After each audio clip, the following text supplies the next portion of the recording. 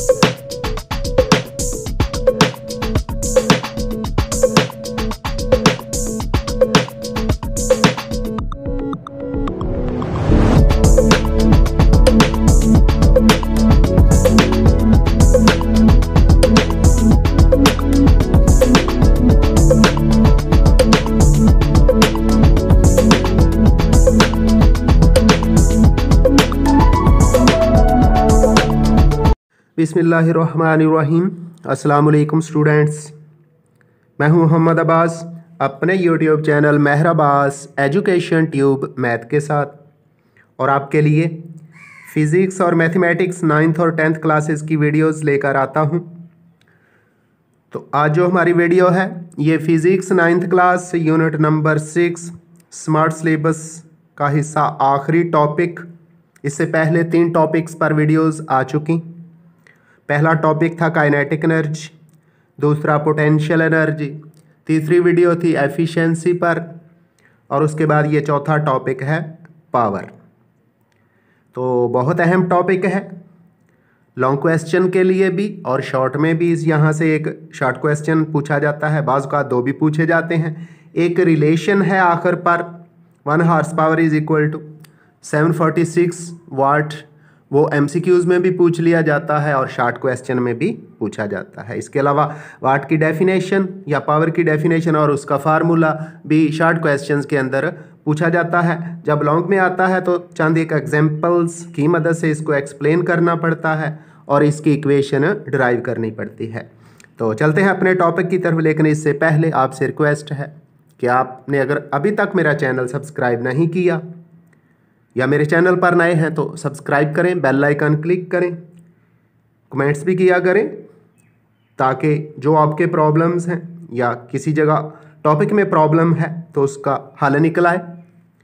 तो चलते हैं अपने टॉपिक की तरफ़ पावर। सबसे पहले हम चंद एक एग्जांपल्स लेते हैं। फॉर एग्जांपल आप क्रिकेट मैच देख रहे हैं। फास्ट बॉलिंग और स्पिन बॉलिंग दो मुख्तलिफ़ डिपार्टमेंट्स हैं। आपने शादाब खान को देखा, स्पिन बॉलिंग करवाते हैं। बॉल की स्पीड कम होती है, लेकिन टेक्निक्स होती हैं। मतलब ये कि बॉल जो है विकेट से लेके बैट्समैन तक पहुँचने के लिए ज़्यादा टाइम लेती है। लेकिन जब दूसरी तरफ़ शाहीन शाह आफरीदी बॉल करवा रहे होते हैं तो बॉल बैट्समैन तक पहुँचने के लिए बहुत कम टाइम लेती है। दोनों बॉलिंग ही करवा रहे हैं। स्पीड का फ़र्क है। स्पीड का फ़र्क इसलिए है कि टाइम डिफरेंस है। पावर तो दोनों ने फोर्स तो दोनों ने लगाई है। अब जिस की बॉल कम टाइम में बैट्समैन तक पहुंचेगी, इसका मतलब है उसकी पावर ज़्यादा है। दो बैट्समैन ही हैं। एक बॉल को हिट करते हैं, बॉल बाउंड्री की तरफ़ जाती है। एक बैट्समैन की बॉल बाउंड्री पर पाँच सेकंड में पहुँचती है, जबकि जो दूसरा बैट्समैन है, वो दो सेकंड में बॉल को बाउंड्री तक पहुँचा देता है। तो हम कह सकते हैं, जिस बैट्समैन ने बाउंड्री तक बॉल को दो सेकंड में पहुँचाया, उसकी हिट करने की पावर ज़्यादा है। एक और एग्जांपल जो यहाँ लिख भी दी गई है, टू वर्कर्स हैं हर एक वर्कर सिक्स ब्रिक्स यानी छः ईंटें उठा, उठाता है। दोनों ने सेकंड फ्लोर पर पहुँचना है।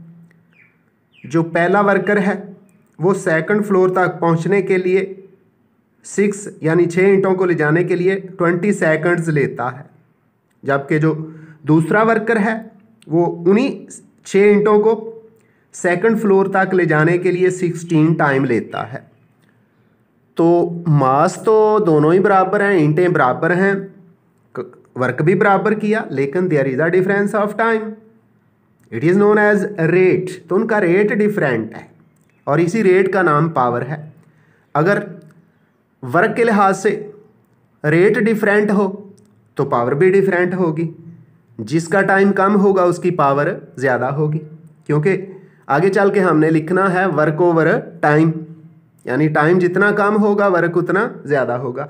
तो जिस वर्कर ने दोनों में से कम टाइम लिया है, यानी पहले वर्कर ने ट्वेंटी सेकंड्स लिए और दूसरे ने सिक्सटीन तो सपोज़ उन्होंने वर्क किया है फिफ्टी जाउल तो फिफ्टी को ट्वेंटी पे डिवाइड करें तो आंसर कम आएगा। सिक्सटीन पे डिवाइड करें तो आंसर ज़्यादा हो, आएगा। इसका मतलब है with respect to time second worker का जो काम है वो ज़्यादा है। इन अदर वर्ड हम कह सकते हैं कि work with respect to time या with rate is called power तो हम अब हम चलते हैं।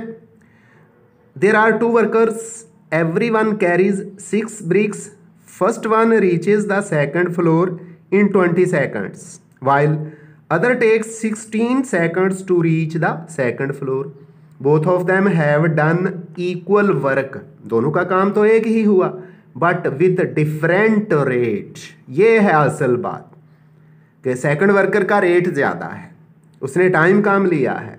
The second worker done his job faster than the first worker faster क्यों? क्योंकि उसने कम टाइम में वही काम कर दिया। It means rate of doing work is power तो रिज़ल्ट ये निकाला कि टाइम के लिहाज से वर्क करना पावर कहलाता है। So power is defined as the rate of doing work is called power the rate of doing work is called power mathematically power is equal to work done divided by time taken यानी power is rate of doing work with respect to time तो power को symbolically P से लिखते हैं।